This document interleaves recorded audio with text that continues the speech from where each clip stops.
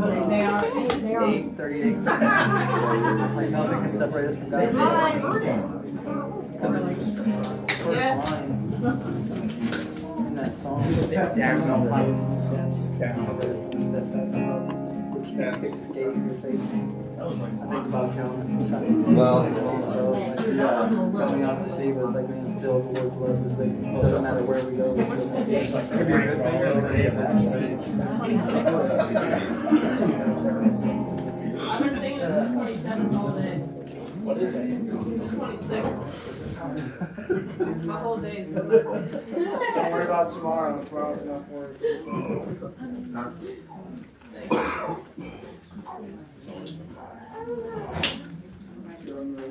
What do you think of that song, the Sovereign Grace song? The tomorrow, Yeah. yeah, I did, it was really good. I like it. Yeah. You know what, I listened to it and I didn't even look at who it was and I knew it was Song and Grace. Yeah. I gotta move. That, that gal. I mean, But it comes yeah. All right, guys, we're gonna get started.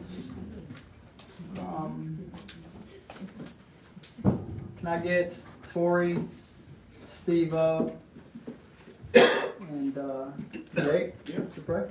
Thank you.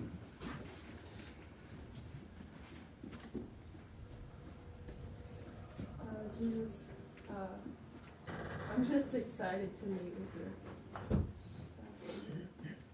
Just being with you all day and just being in your presence and uh, being in your presence with other people. Um, I'm just excited to be here right now, Jesus. Uh, just ready to hear whatever it is you have to say to us, Jesus. Um, just ready to leave my heart in your hands uh, so that you can mold and shape it uh, however you want it to look, Jesus. Um, I pray for our time here, uh, that it's just all about you. That our hearts would be aligned uh, with just being focused on you. That this time is set aside for us to just be with you, to look at you, uh, to leave here looking like you. I pray, Jesus, that your spirit uh, would fill us and would fill this place. And that we would leave here uh, just knowing that we encountered the King. That we would leave here uh, ready to go down to the bottom of the mountain. That we would just leave here ready to uh, be done with self.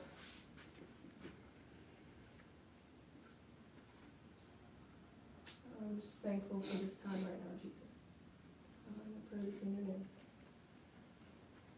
Yeah, Jesus, um, I don't want this to be just, uh, just another day or just another Wednesday that, uh, we gather together in this room.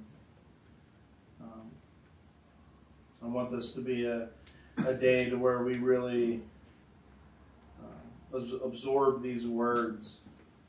I want this to be a day that we, um, not just sing some songs, but really worship and bring glory uh, to you right now. Uh, I pray that we can all get ourselves out of the way. Get ourselves out of the way so that uh, your words through Ken can seek uh, deep into our hearts. So that we can use these words uh, to guide our footsteps in our everyday lives. So, Jesus, I, I too pray, man, that we can just uh, get up from this room and leave changed. Jesus, that's amazing, man, that we just get to gather here as a family and, and fellowship and share a meal together and, and have communion together. So, Jesus, uh, we love you. It's in your name. Amen. Dear Heavenly Father, I thank you for this time that you allowed us to come together and uh, worship you, Lord. I not only want uh, your words to penetrate our hearts, Lord, I want uh, all our hearts to be near you, Lord. Uh, I thank you for the food that you allowed us to have in our bodies. Uh, thank you for this time that you're allowing us to spend together as a church. I want to thank you for every uh, every prayer that's not answered and answered, Lord. Uh, Lord, I love you, and this is your holy name I pray. Amen. Amen.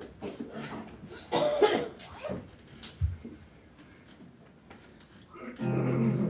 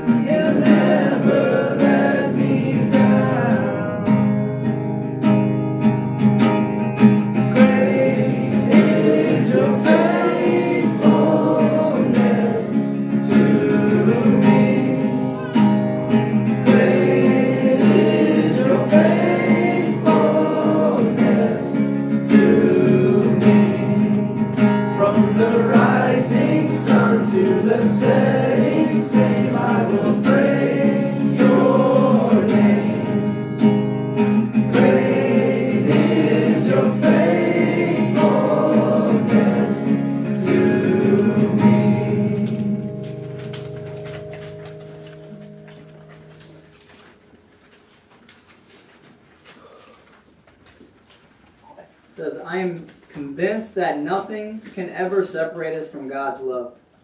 Neither death nor life, neither angels nor demons, neither our fears for today nor our worries about tomorrow. Not even the powers of hell can separate us from God's love. No power in the sky above or in the earth below. Indeed, nothing in all creation will ever be able to separate us from the love of God that is revealed in Christ Jesus our Lord.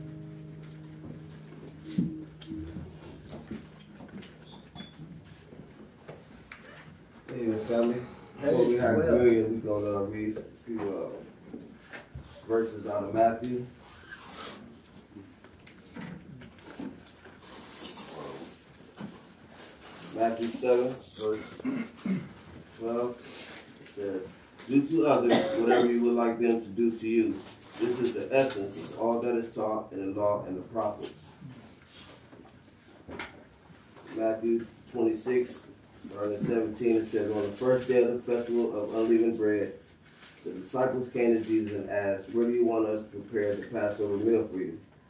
As you go into the city, he told them, You will see a certain man. Tell him, The teacher says, My time has come, and I will eat the Passover meal with my disciples at your house. So the disciples did as Jesus told them and prepared the Passover meal there. When it was evening, Jesus sat down at the table with the twelve. While they were eating, he said, I tell you the truth, one of you will betray me. Greatly distressed, each one asked in turn, Am I the one, Lord? He replied, One of you who has just from this bowl with me will betray me. For the Son of Man must die, as the Scripture declared long ago. But how terrible it would be for the one who betrays him. It would be far better for that man if he had never been born. Judas, the one who will betray him, also asked, Rabbi, am I the one? And Jesus told him, You have said it. As they were eating, Jesus took some bread and blessed it. Then he broke it in pieces and gave it to the disciples, saying, Take this and eat it, for this is my body. And he took a wine and gave thanks to God for it. He gave it to them and said, Each of you drink from it, for this is my blood, which confirms the covenant between God and his people. It is poured out as a sacrifice to forgive the sins of many. Mark my words, I will not drink wine again until the day I drink it new with you in my Father's kingdom. And, uh, 10 verse 12 it says, Everyone who acknowledges me publicly here on earth, I will also acknowledge before my Father in heaven. But everyone who denies me here on earth, I will also deny before my Father in heaven. Take me.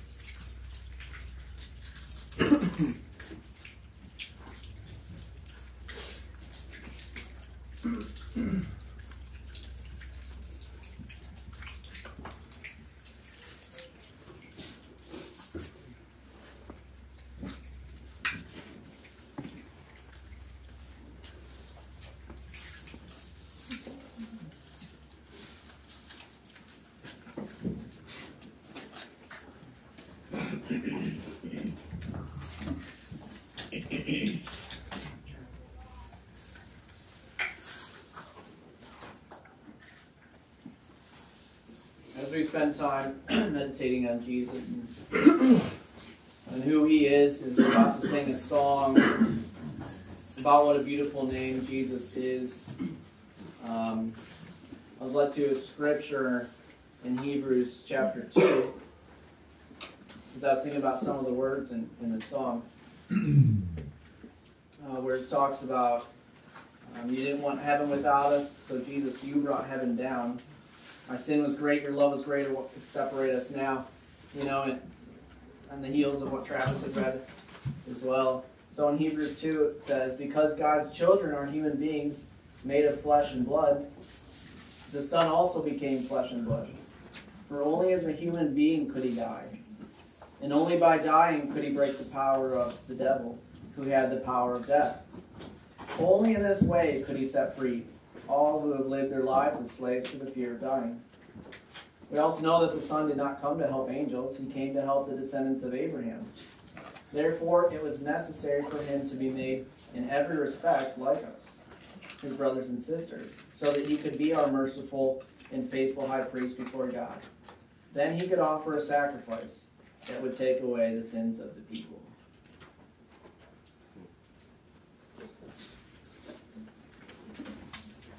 You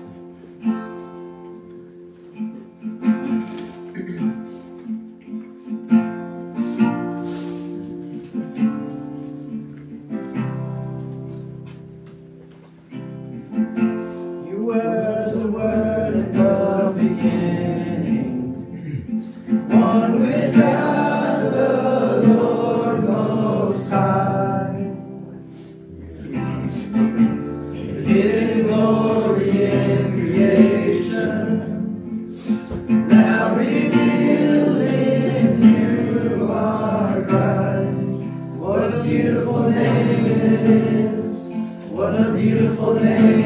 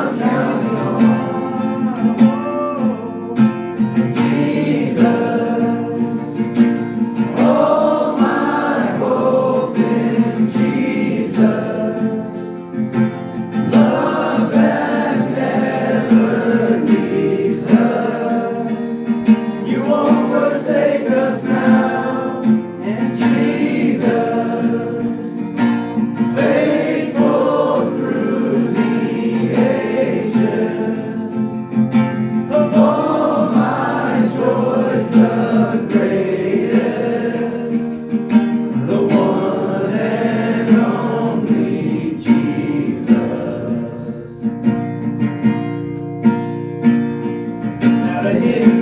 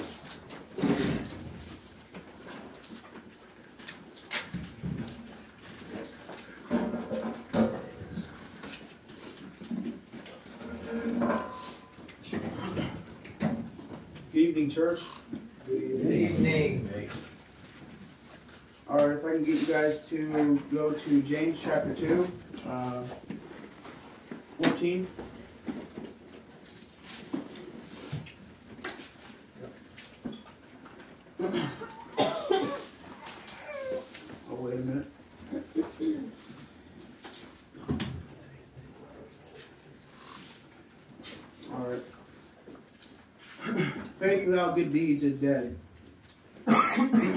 what is it? What good is it, dear brothers and sisters, if you say you have faith but don't show it by your actions? Can that kind of faith save anyone? Suppose you see a brother or sister who has no food or clothing, and you say goodbye and have a good day, stay warm and eat well, but then you don't give that person any food or clothing. What good does that do? so you see, faith by itself isn't enough unless it produces good deeds. It is dead and useless. Now some may argue some people have faith, others have good deeds. But any but I say, how can you show me your faith if you don't have good deeds? I will show you my faith by my good deeds. you say you have faith for you believe there is one God. Good for you. Even the demons believe and they tremble in the terror. How foolish can't you see that faith without good deeds is useless? Don't you remember that that our ancestor Abraham was shown to be right with God by his actions when he offered his son Isaac on the altar? you see, his faith and his actions work together. His actions made his faith uh, com- complete. And so it happened just as the scripture says Abraham believed God and God counted him as righteous because of his faith. He was even called a friend of God. So you see, we are shown to be right with God by what we do, not by faith alone. Rahab, the prostitute, is another example. She was shown to be right with God by her actions when she hid the messengers and sent them safely away by a different road. Just as the body is dead without breath, so is also faith is dead without good works.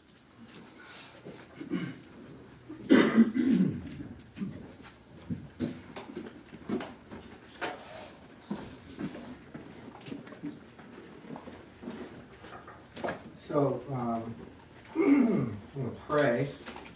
Let's to pray. Before we get started, and we're talking about faith, and I'm thinking about the communion that he did, and man, those scriptures were so good. And I'm just thinking about how they're sitting around the table, and Jesus says, "Look, one of you guys are going to betray me." You know, and this is obviously pre Holy Spirit, pre Pentecost, right? But all the disciples start going, "Is me? Am I going to do it? Is it me, Jesus?" You know, and, and it's just crazy when you really think about that. That they just they weren't sure. Like Jesus was saying something, and they just didn't have this confidence that it wasn't them.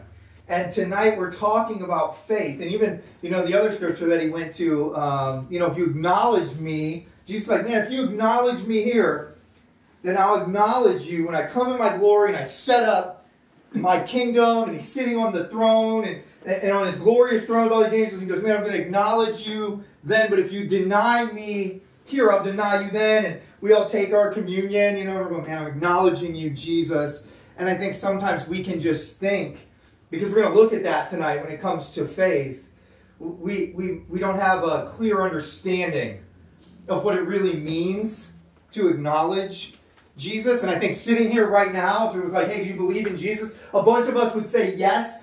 Just keep in mind that what's happening here in James is Jesus is talking to people who would have said they had faith and continuing along with, with what's going on here James, it's a test. And he's testing to go, hey, do you have a faith that's alive or that's dead? But you know, before we even get into all of that, because I don't want anybody leaving here tonight and going, is it me, Jesus? Or do I really believe in you? Or do I have faith? Because even if you find yourself during this time, as we look at the Word of God, going, man, I don't line up. That doesn't mean you have to leave here still in a place of like, I don't know if my faith is real. And so it gets reconciled here and now. And so I don't want anybody to have that kind of doubt. I want everybody to be filled with the Spirit and nobody having that same kind of doubt that the disciples had before they were filled with the Spirit when Jesus was like, somebody's going to deny me. And it was like, is it me? It could be me. You know, just asking. I want us to just have full confidence that when we say we believe in Jesus, we completely understand what that means. And man, we get to say that with confidence.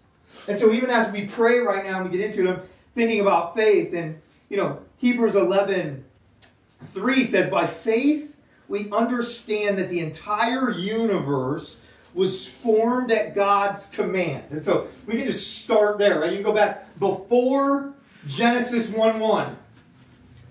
Because what it's saying is like, listen, we understand that the entire universe was formed at God's command, that what we now see did not come from anything that can be seen. So take a minute and really think about that. And think about what you can see right now as you're seeing me stand here and arms moving and I'm talking, right? And we can look around and we see there's a ceiling here and there's windows and walls and bricks and all that. But, but what he's saying, Jesus like, man, you trace that back. None of that stuff, right? We go, oh man, these walls came from trees. But it's like, if you trace it back, it all came from nothing that you can see but just the command of Jesus.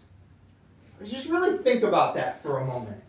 There is not a material or a person or anything that you can see here in this universe that came from something else that you can see. It originated from a command from Jesus' mouth. And it was formed. And it's by faith that we know that. That we know that. And we need to start there. We need to start right there. And we need to pray. That's who we're talking to. That's who's speaking. That's who we're talking to right now, and that's who's speaking. And by his command, the universe appeared.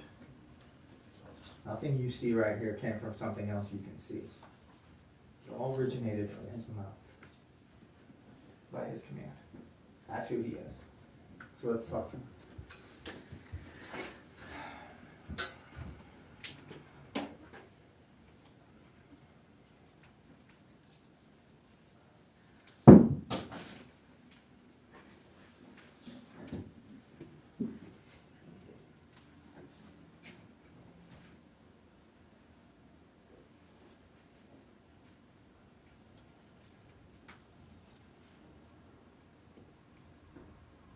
Jesus says, Your glorious presence fills the temple, your people, the dwelling place where you live by your spirit. Would you push out and chase out anything that's not of you? Every time we see Jesus, your glorious presence filled the temple, flesh can't go in there. Flesh can't dwell there. Would it be that way with us here now? That as we sit at your feet and we hear you speak, that your spirit, that your glorious presence would fill your people here, and everything of us would be chased out everything of us would be removed. And as we sit here united by your Spirit, your glorious presence would dwell and fill us. Not just this place, we're the temple. Fill us with your glorious presence. Chase out anything that has to do with us. Our thoughts, our ways, our plans, everything, Jesus, here now as we recognize that you've called us here to meet with you and by your command. That's how anything exists.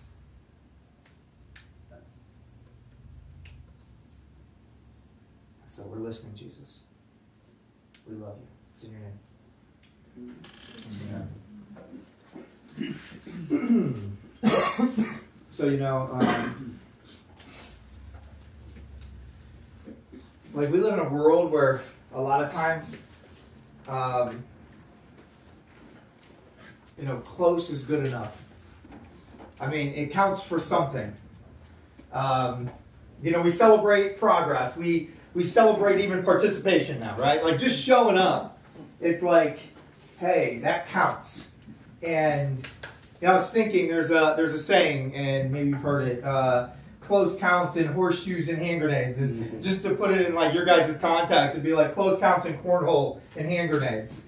And and and the idea behind that is right, and it says only, and it's about success or whatever. But the idea behind it is like, hey, there's some things that if you're close enough, right, that that you get some points for it, you get some credit for it. Um, you know, we celebrate second place and third place and runner runner ups and all kinds of stuff. And so we just we live in a world where hey, you know, everything has some kind of credit. You get some kind of credit for it, an effort, A for effort. We say things like that.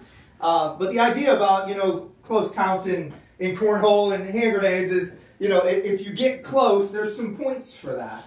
And even when talking about hand grenades, right? It's like, hey, you don't have to hit your target directly. If you could just get it close, some damage will be done, and um, it, will still destroy the, the target. But I always, when I think about that saying, like I always think about the person throwing the grenade, because there's not a whole lot of wiggle room on that end, right? It's not like it's not you got like two seconds, and that's because it goes off in four, and the kill radius is 15 feet. So it's not like you could be a second off and you're okay. You know, there's just not a whole lot of room. Like, there's some things that have to be exact. And faith is one of them. And that's what Jesus is saying tonight when he's talking here in James chapter 2. He's going, you know, close enough with faith isn't good enough. Like, it has to be exact. And, and so, you know, a lot of times when it comes to faith, um, you know, we think there's a, a lot of wiggle room. We think there's a lot of room for, for error.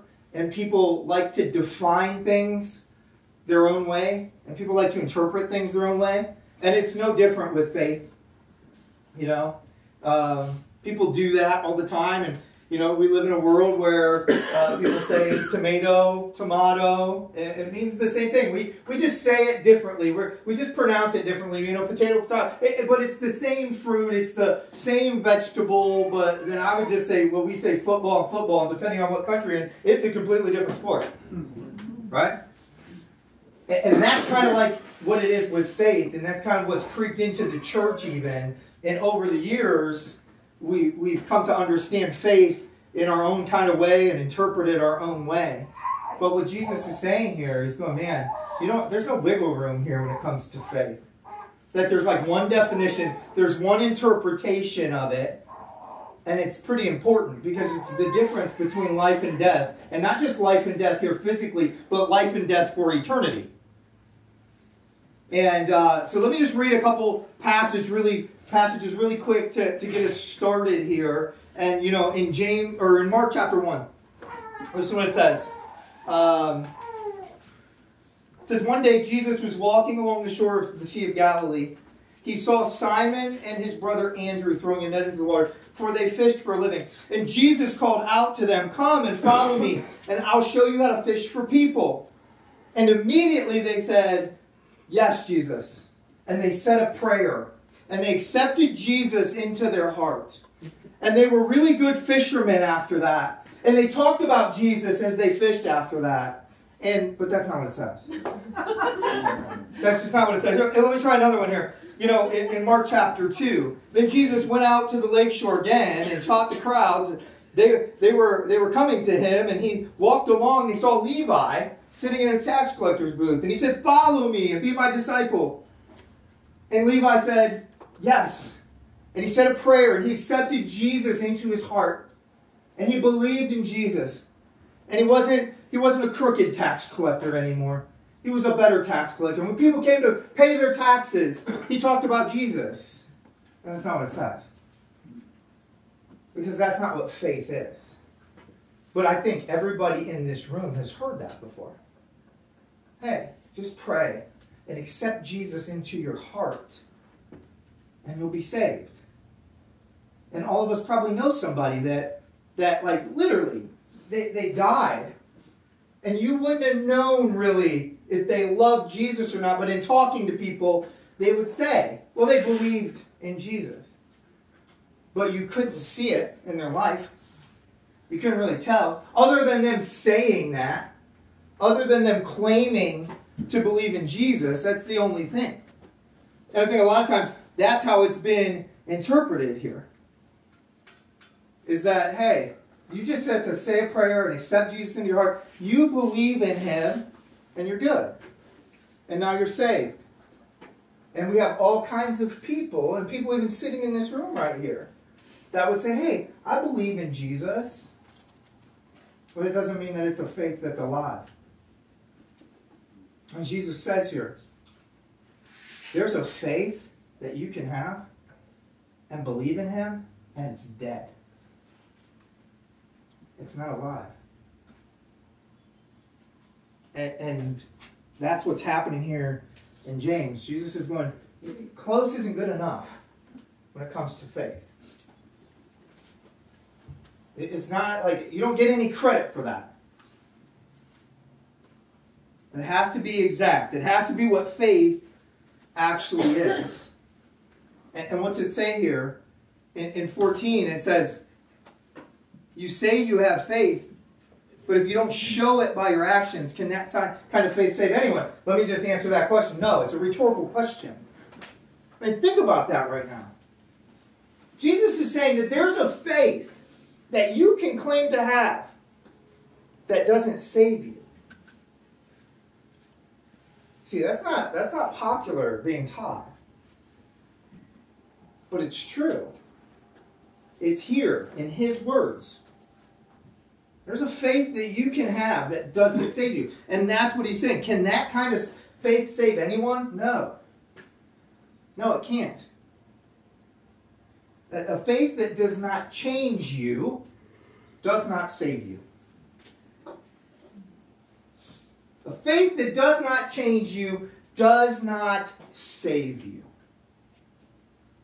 Right? What really happened in those passages that I read? I mean, Jesus came along and said to Andrew and Simon, Follow me, and, and you'll fish for people. And immediately they left the boat. Immediately there was this change as they followed Jesus. What they valued changed. What they thought was important changed. He goes a little bit further down the way and sees James and John, and he says the same thing to them. And listen, they left their dad and the workers in the boat and left. Now, listen, you think Vin Diesel and the Fast and the Furious is all about family? Like, the Jewish people were all about blood relatives and all about carrying on the family business. For them to get out of the boat and leave dad in the business was like unheard of. That wasn't something that you did. That wasn't something that's normal. Maybe normal in our culture. I don't want to follow your footsteps. Not then. That was such a big deal. And so they get out immediately. And what's, what's Levi do? He gets up and he leaves his tax collector's booth. There's immediate change. A faith that doesn't change you doesn't save you. It doesn't save you. Because a real faith, a real faith, means that the Spirit of Jesus enters you. And the Spirit of Jesus is not going to enter you and leave you the same.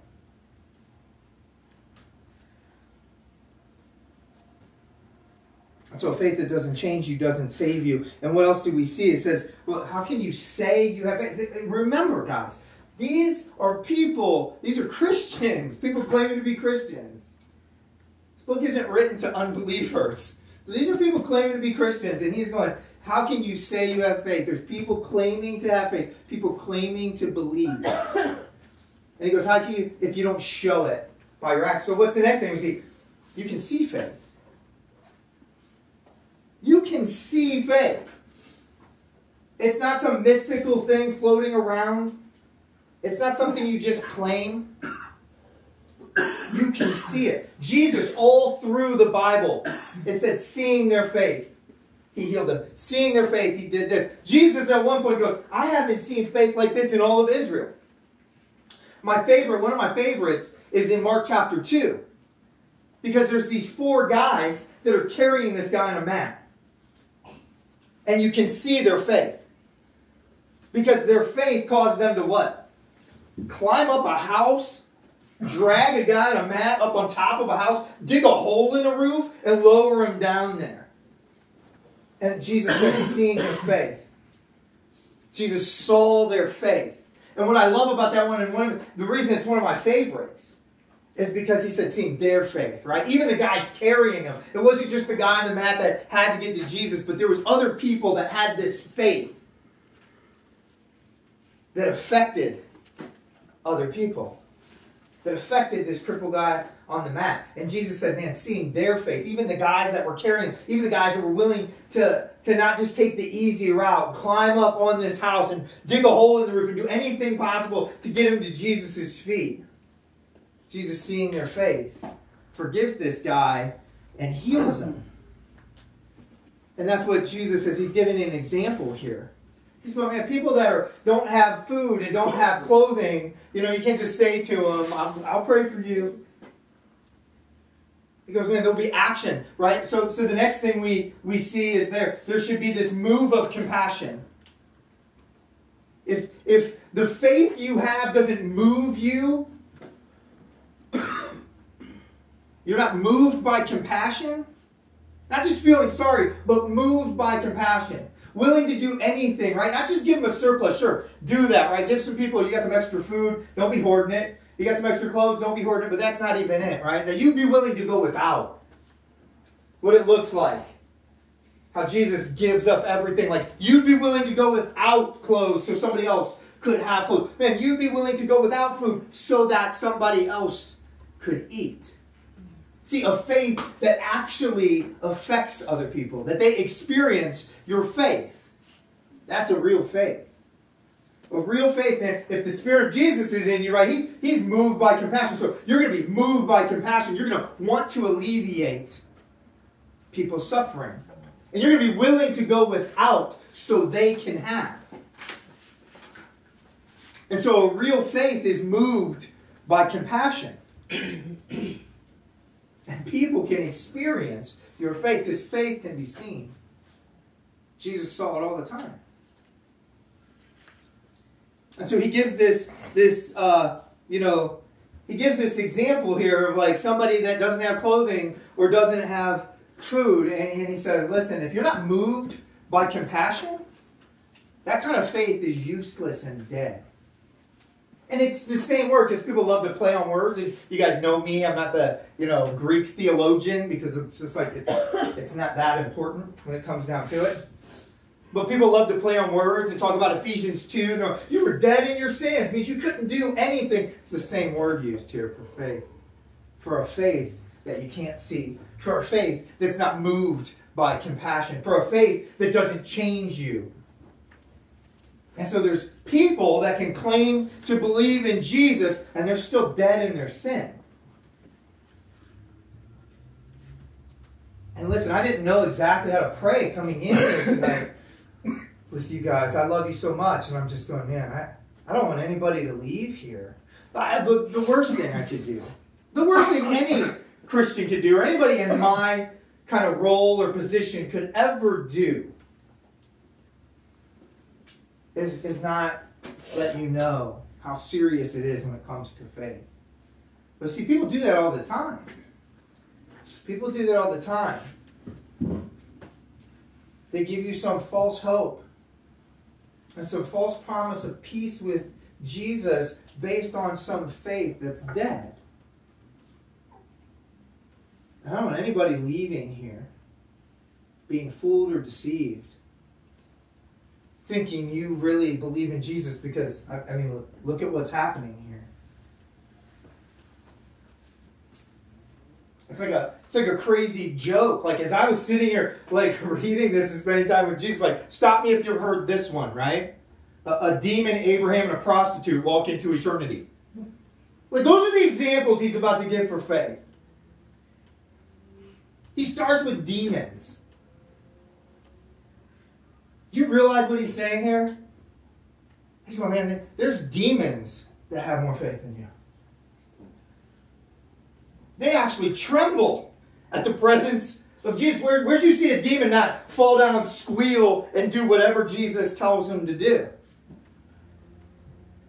And so, like, probably one of the most, you know, alarming verses in the Bible is James 2.19. Where he goes, oh yeah, you believe in God. Good for you. So do the demons. It's like, whoa, hold on a minute. He goes, so do the demons. He goes, but guess what? They really believe because they tremble. They tremble. The thing about a demon, a demon is completely rebellious. And yet, when they get in the presence of Jesus, they tremble in his presence and do whatever he tells them to do. The pigs, pigs it is. Right? And, and what Jesus is saying is going, there's people running around saying they have faith in me, saying they believe in me, but they're rebellious and they're doing whatever they want to do. And he goes, So you believe? Well, good for you. So do the demons. But they tremble. And in Isaiah 64, Jesus is, you know, he's like, man, Isaiah's going, man, that you would burst through the clouds and come down. He goes, guess what? Creation would quake. Mountains would quake. Water would boil. The nations would tremble because of your presence. And yet, listen, we're supposed to be people that have that presence living inside of us. Have you lost that? Or you tremble at his presence? Because the demons do. Lots of people say they believe, but they don't tremble. And then it goes on in Isaiah uh, 66. Heaven is my throne, the earth my footstool. I spoke and created everything, and I'll bless those with humble and contrite hearts that tremble at my word. Do you tremble at his word? Real faith trembles at the word of God. Real faith doesn't want to be out of step with Jesus and his commands one bit. Always wants to be in the will of God. No matter what that looks like.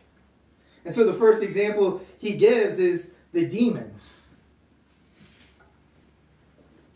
And he goes, but they tremble. They tremble at his presence. They tremble at his word. Do you? Tremble at Jesus' presence? Do you tremble at his word? As you read this and you go, man, this, this is Jesus speaking, and he spoke, and by his command, the universe. Nothing we see came from anything we can't see. He spoke, and that's what started anything and everything. You trace it all, and guess what? You trace it all back to him and him speaking. And so, how much should we tremble as we read this? Because that's what he's saying in Isaiah 66. You have this humble and contrite heart, and you just tremble at his word.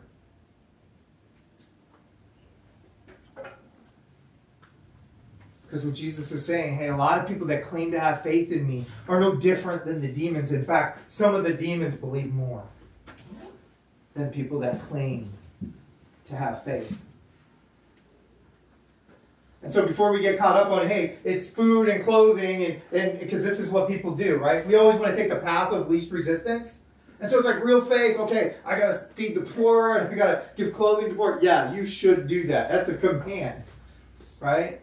We saw that. Real religion, right? True religion, pure religion is taking care of the orphans and the widows, but not being corrupted by the world. And so we should be caring for people less fortunate. We should be moved with compassion. That's what real faith is. But the demons believe and know that he's God. And even though they're in rebellion, when, he, when they're in his presence, man, they tremble and they do whatever Jesus tells them to do. And then listen, he, he goes to Abraham. That's the next example. Is Abraham. You think you have faith? You, you claim to have faith, you, you believe in Jesus. Well, look at Abraham. And he starts talking about Genesis chapter 22, where his faith was tested. Abraham's faith was tested. He goes, Man, you know that one son that you have, your one and only son, the one that you love so much? He goes, Go and offer him as a sacrifice to me. And in Genesis 22, one of the craziest things about that is it says, So Abraham got up early the next day to go do it. Of all the things you would get up early and be eager to do, that would be one of the last, right? But yet, this is what faith looks like. That he trusted in Jesus like this. And, and people water it down. I've talked to so many people like, yeah, but Abraham knew that, you know, Jesus wasn't going to make him go through with it. And so he just knew the whole time that, you know, he wasn't going to make him do it, but that's not what the word says. That's not what the Bible says. In fact, in Hebrews 11, when it's talking about it, listen to what it says here in verse 17. It was by faith that Abraham offered Isaac as a sacrifice when God was testing him. Abraham, who had received God's promises, was ready to sacrifice his only son Isaac even though God had told him, Isaac is the son through whom your descendants will be counted. So I love this because it's like, guess what? He didn't understand it all. And he didn't have it all figured out. But guess what? He knew who Jesus was. And before you think it's like, oh, he knew he wasn't going to make him go through with it, listen to what it says here. Abraham reasoned that if Isaac died, God was able to bring him back to life again. So he didn't go there thinking, oh, he's not going to make me do it. He had faith that he was like, even if I do it, because that's what he told me to do, I'm going to do whatever he tells me to do. Right? Abraham was an obedient person because he had real faith. And he goes, even when I go ahead and I kill him and I sacrifice him, he goes, oh, he'll just raise him back from the dead. He goes, he'll just bring him back from the dead. That's what he was counting on. He was like, Jesus can do anything. That's the kind of faith that Abraham had. And at the end of it, right, when he's about to do it and he stops him, right, Jesus stops him. And what's he say? He goes, Now I know that you truly fear the Lord. He goes, Because you didn't even withhold your only son from me. See, he didn't ask Abraham to do what was easiest. Think about who Abraham is. You know what would have been easier for him? What would any parent like that do? With the son they love so much. Take me. Take me instead, right? She'd be like, spare my son, spare my only son, take me, I'll take his place. But see, that would have been easy for Abraham. The hard thing was not to withhold what he cared about most on this earth. And so that's what Jesus pulled on. To say, do you really believe? Think about what you withhold. Like, honestly. Think about what you withhold here. I mean, we want to withhold money and possessions and, you know, all kinds of things. We want to, we want to withhold our plans. And what Jesus is saying here is that a real faith, a genuine faith, a faith that's alive, withholds nothing. Withholds nothing from him. It's all his.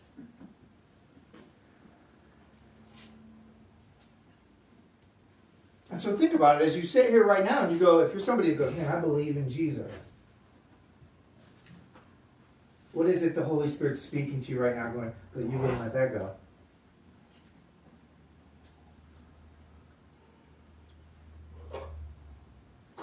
What is it that you're holding on to? Even just yourself. And I love it because the next example that Jesus gives is a prostitute.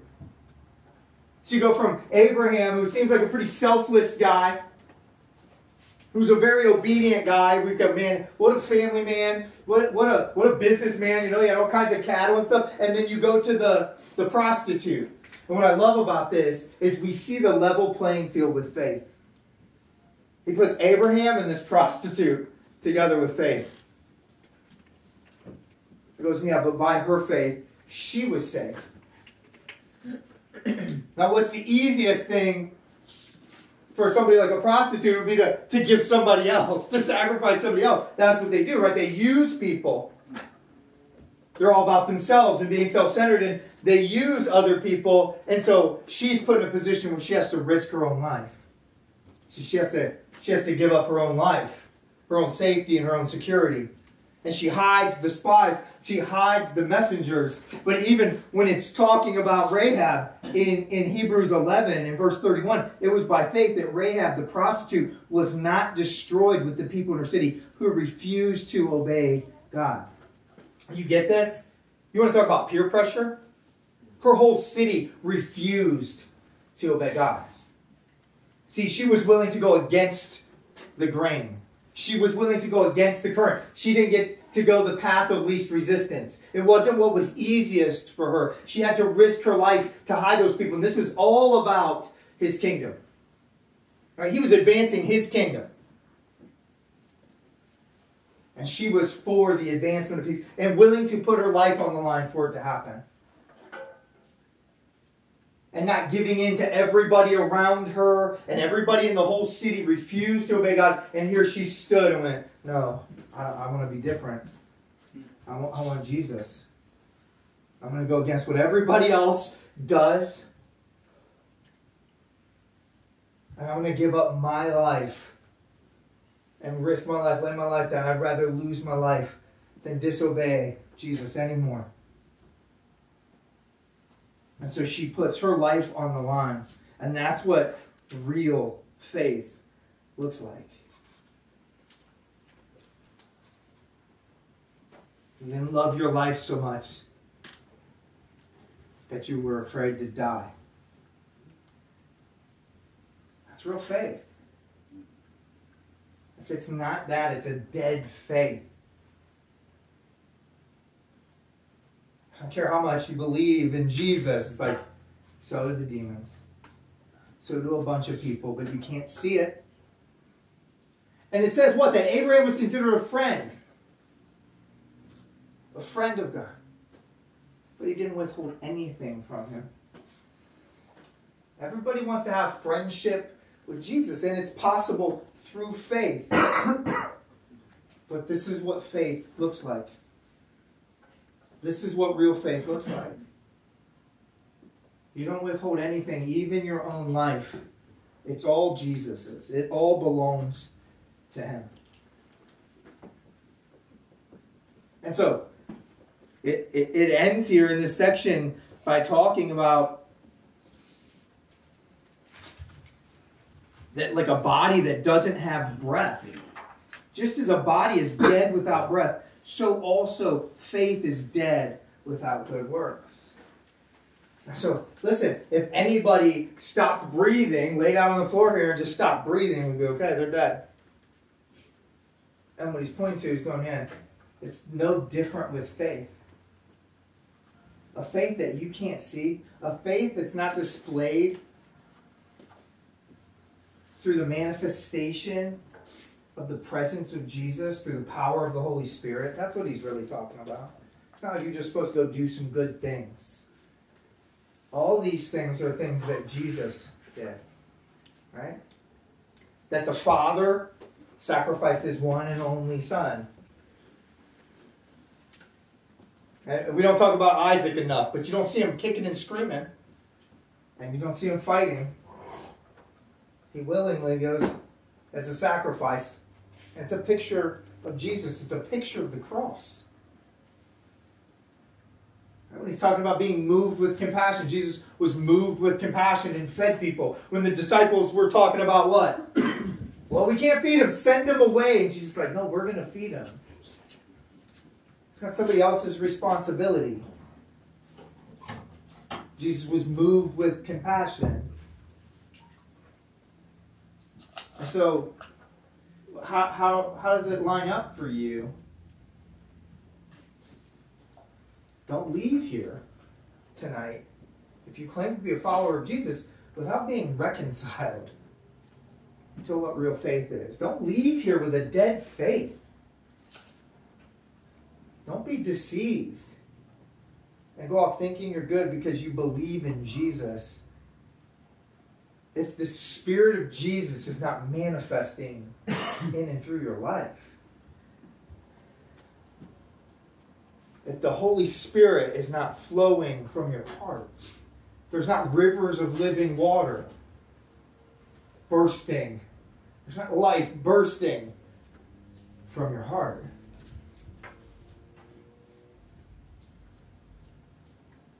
I know a lot of people that claim to believe in Jesus. They're not patient. They're not joyful. They're not loving. They're angry and they're scared and they're depressed and they're worried and they're all these other things. And they, oh, but I believe in Jesus. He goes, that's not what real faith looks like. You can call it faith and believe and trust and all that. I remember a long time ago, like I was at the Knights of Columbus when we started, and, and we were talking about, we were in the book of John, and we were talking about believe because John was big on, when he talked about faith, he said believe. And I brought in a baseball tee. Yeah. Uh, yeah. yeah. A, a, a baseball tee and a baseball and an aluminum bat. And I was like, you know, I played baseball. Who believes I could hit this ball off the tee? Right? And a bunch of people, yeah, I believe you could do that. Sure. And I was like, who would be willing to put their hand there on top of the tee and hold it? And like less than half people were like, uh, I guess. I think you could probably pull that one off. It's like, who wants to put their head down and put it in their ear? Let me just swing away. Right? And everyone's like, no. but think about it. We, we, we say we believe. Start off, oh, we believe you could hit that ball, man, that you wouldn't hit the tee. But then what? When we had to put our our money where our mouth is, so to speak, it's like, no, I don't, I don't, I don't believe you're gonna do that. You know, um, one of the things is like, who, who here, when they were a kid, their parents, you know, told them Santa Claus was real, and you believe in Santa Claus. God's people, right? I did not tell you that. no. My kid was the one running around ruining the whole thing at grade school. And calls from parents and teachers going, tell your kid to quit ruining Christmas. I didn't send him in there like that, right? But he was just like, that's not true. But, but people believe this, right? Like you know, you know, like parents had their kids believe this, or you knew, or you know of kids that do, and and what happened? What they do? They they they put cookies out, and they put milk out, and then reindeer food got involved somehow, and you know, and, and but listen, the, the point I'm getting at is some people believe in Santa, have more faith in Santa than Christians that claim to believe in Jesus. People run around putting cookies out for Santa. They're like, man, I really believe it moved them to some kind of action. Right? When you believe the weather report, you dress accordingly. We cancel outdoor events. Right? When you really believe something, there's an action that follows. When you really believe something, there's an action that follows. That's why somebody's sitting here going, tremble, like, are you kidding me? If you really believe, he's going to decide whether you take one more breath. Man, that makes you braver inside. Oh my gosh. Not, not in just necessarily a dreadful way. It's like, oh my gosh, like you're holding my life, every breath, every moment in your hand. Like that's who you are, and I get to know you, and I spend time with you. I hope you spend time with him. You know, we're singing that God is so good song, and I love just the last line. Because it's talking about God, and then it's like starts singing to Him. And every time we sing that song, it makes me think of Psalm 23. Because Psalm 23 starts by talking about God. The Lord's my shepherd, everything I need, right? He's talking about him. And he, he does this, and he lays me down and peace with streams, and he leads me around. Uh, right? But then he gets in the dark valley, he's like, You are close beside me. Something changes there. There's this intimacy all of a sudden in the middle of that psalm where it's like, man, because he's in this dark valley, he's like you. He starts talking directly to him. And there's this close intimacy. I hope that's what it looks like for you to spend time with Jesus. is I was up here and we were listening to music before, I was holding Delilah because I can still do it. I'm not too old, right? She's not too big yet. And I'm holding her. We're singing together. And I'm thinking in my head, like, oh, man, I hope, because I've been spending time with Jesus like that. And I'm going, man, I hope that our people are spending time with Jesus like this. I hope they're letting Jesus hold them. I hope they're letting Jesus carry them. I hope you're really spending time with him. And I hope when you go into his presence, you tremble. And you'll know when you're in his presence because you will. I heard his voice. Put me on my face. I didn't get down. I, I had no choice. But don't leave here with a dead faith. Be reconciled. here and now. Don't leave here with a dead faith. Leave here with a faith that's alive.